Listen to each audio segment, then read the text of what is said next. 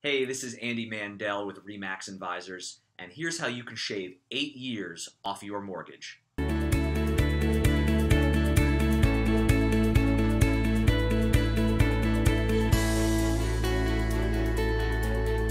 So when I'm dealing with buyers, a lot of times they ask me, Andy, should I get a 15 year mortgage or should I get a 30 year mortgage? And what I always try to recommend is get the 30 year mortgage. And the reason for that is your payments will be slightly lower every single month because the mortgage is amortized over 30 years. Uh, and it gives you some flexibility to, you know, in case you have a, a bad month, you know, your payments are going to be a little bit less.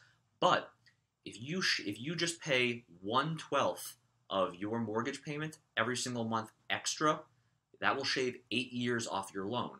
So if your mortgage payment every month is twenty five hundred bucks, if you make an extra two hundred dollar a month payment, you just turned your thirty year mortgage into a twenty two year mortgage and saved a ton of money on interest.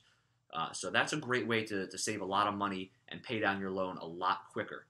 If you have any interest in buying or selling a home and you want to help sit together and, and put together a financial plan on how to move forward and make this purchase, give us a call, shoot us a text let us know how we can help.